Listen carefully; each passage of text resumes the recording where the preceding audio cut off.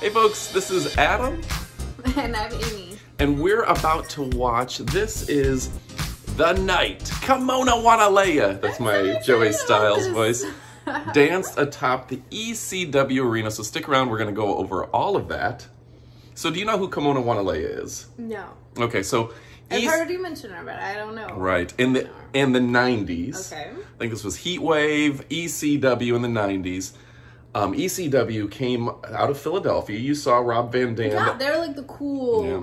like edgy wrestling. I Right. liked all their stuff. The Sandman was super cool. It Yeah. was just Oh, yeah. horrible, bad role model. It was awesome. Now, the story with ECW is that WWE was getting real cheesy. So it was WCW.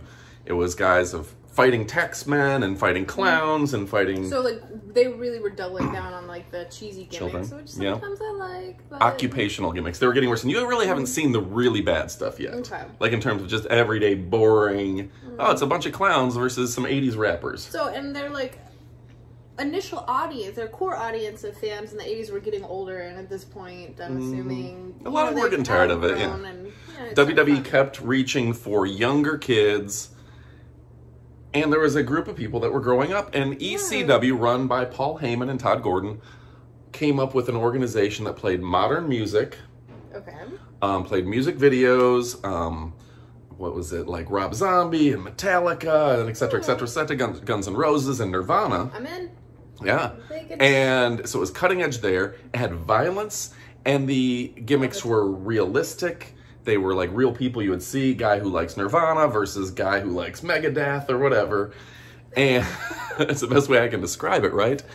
But And, rock and roll and violence. Yeah. Awesome. Love it. Yes. and a lot of their managers Mm-hmm. were former strippers and hot girls and girlfriends of the wrestlers. Oh. Okay. So sex, violence, rock and roll. Yeah. That's like highway to hell. Like we're going. Like I love it. So for our fans out here, Amy is new to wrestling. This is her first summer watching wrestling. So we're trying to show her different stuff, and you recommended we show her some ECW because a lot of our fans are nostalgia era 90s, 2000s wrestling fan, attitude era fans. Yep. So can you explain to her, because I don't remember, and I'm watching this for the first time since I watched it as a kid, why uh, it- they had to buy some time. Like the power went out, the cable feed went out, something happened at Heatwave, and Paul Heyman, the owner, said, Hey, Kimona, can you go dance for the fans? And she's just the hero and saves the night. Yeah, yeah. So That's here she is, does a strip tease. I think she pops out of her outfit at some point. Like, burp. Like. mm, but I'm thinking the bottom part. Oh my Yeah. goodness. Yeah, if you watch real closely, you can see it.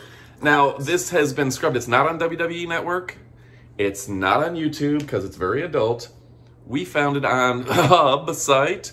We're gonna watch it. You'll have to. You can watch along. We'll put a few pictures on screen, but we have to keep it fairly PG. This is all an elaborate ruse to log into Hub on Yeah. my account so you mm-hmm. can see what I've been. Oh, I didn't see that yet. What have you been looking No, at? I'm How not- many? Nothing. Nothing. How many girls have you been watching? All right, so I'm pressing play on this. It'll start off here in a moment, but it's Kimona Wanalaya, the night she danced atop ECW Arena. They should make a movie out of that, like the night the like stripper saved the show. Oh yeah, I like that. I love it. That's It's the, every night for me. every night is the night. Save the night. And the thing is, like, there's some argument over, like, she. There's some claims that she didn't necessarily want to be released on the DVD or on the VHS tape or anything. Like she was just doing it for the live audience. Like Yeah. one time only. Yeah. If you were lucky enough to be here, you get to see it. But this came out on um, VHS and it sold a lot of copies, and Paul Heyman made a lot of money. I don't think she gets residuals off of Oh it. my goodness, so here it's playing, yes. So Kimona, how old do you think she is here? 24 ish. Okay. Maybe? And um, that's where she pops out. You can kind of see a little bit. Oh my goodness. Can we rewind that? no, I don't. I will.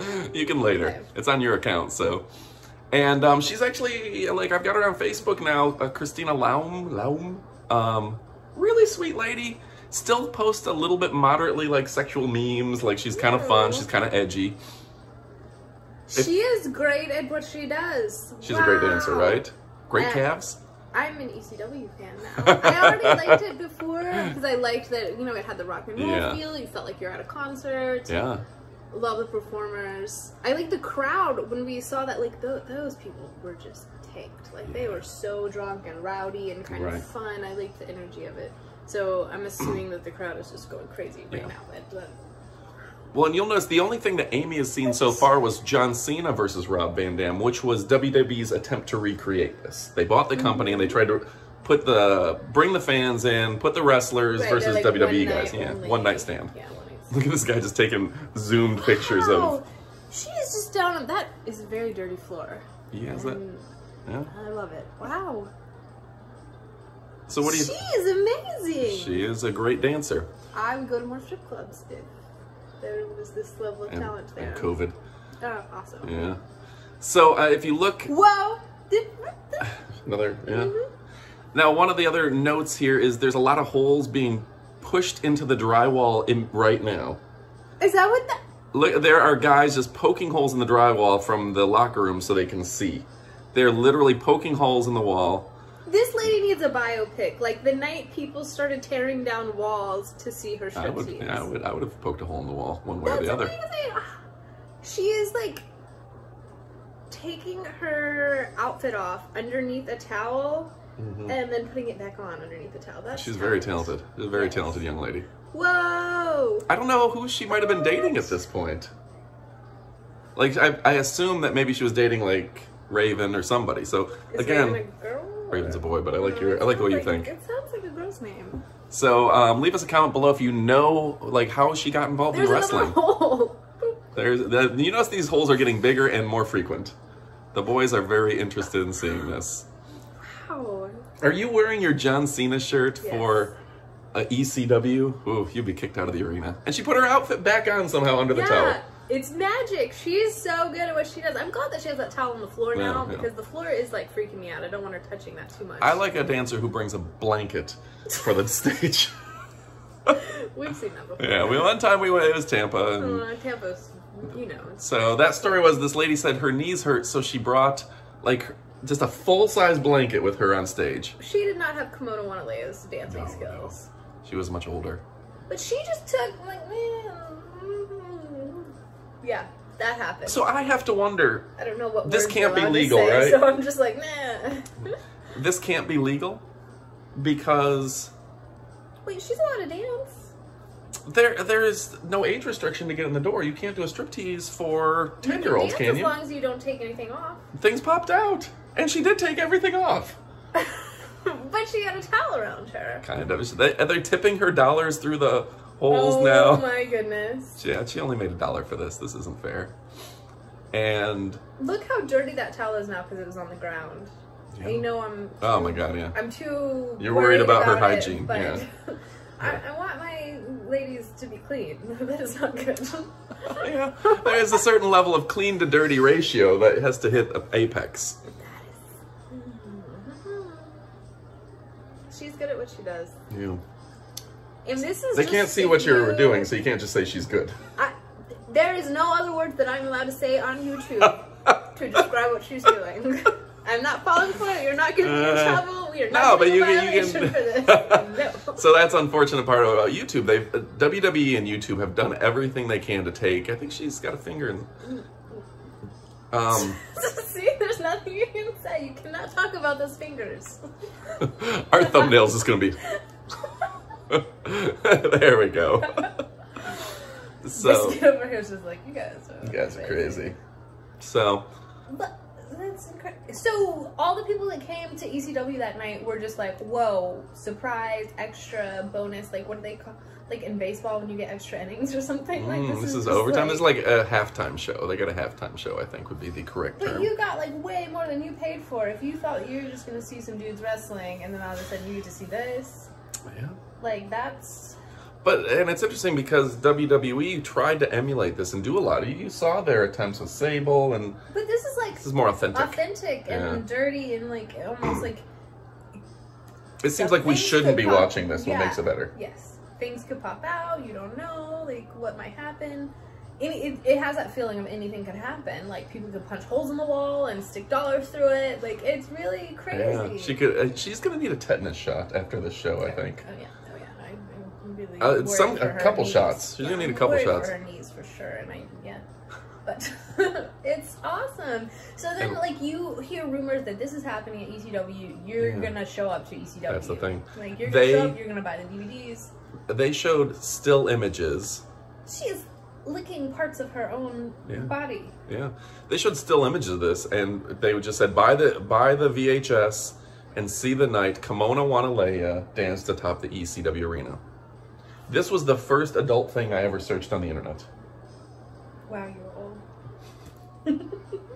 I was, you were six, four maybe, I don't know. so, um, then there's this guy's running by in the background. This is a she put on a heck of a show. That's amazing. So if this was your first exposure, and it is your first exposure to real ECW, this is your first up. time I'm a fan. I love Right. it. Yes. Compared to I'm the wrestling trash man or I'm the Yeah. guy from New Zealand. Yes. Yes. Yeah. Yeah. I see why it was wildly popular. I'm almost sad that it kind of like got swallowed up and Yeah. watered down because this is like it seems like almost what's wrong with WWE today is that they don't have that competition. It's kind Mhm. of like forcing it to maybe push the envelope or Yeah. Not. I, I understand from a business standpoint why they want to be friendly for advertisers. Sure. Like that's It's why money. That's money. That's why Kids are money. Yeah, we can't say whatever we want on YouTube or whatever. You know, you have to worry about that. But it does water things down. You were talking this week. We were watching um Howard or listening to Howard Stern, Mhm. and he's no longer saying curse words. Yeah, he said he's not saying the bad curse words anymore. And he says because he's trying to clean up his act. And no, it's sponsors. No, it's sponsors. sponsorships, right? Everything's run by ad money, and so it's nice to go back to an era of ECW where it was just kind of like, no, we're gonna be crazy. Um, this week, this week, Jim Ross, and depending on watch this, probably a couple weeks ago, depending on when we upload this, I'll probably upload this pretty quick. Um, Jim Ross in a AEW, the new wrestling organization that he's working for, um, he said something to the degree I think he was talking about Tessa Blanchard or one of the wrestlers, I don't know. Um, and it was like almost had a wardrobe malfunction, and he's like, I wish that would happen or something. You know, he just said something in passing, and the internet practically tried to me too him. It was like, I can't believe he's sexually harassing these girls, saying he hopes their boobs pop out during a wrestling event. And I think we've just gone like, and then the, obviously there's a lot of old school wrestling fans who are like, calm down. Yeah. What are your take? What's your take on that? I mean, I don't. I haven't heard it, so I don't want to speak on something that I haven't seen Mhm. in context. I can see where, if you are a wrestler that you're trying to be taken seriously from that girl's Sure. standpoint, that she might be like, "Come on, I'm trying to do my job. I don't want you to wish that I got you know." But they're Mhm.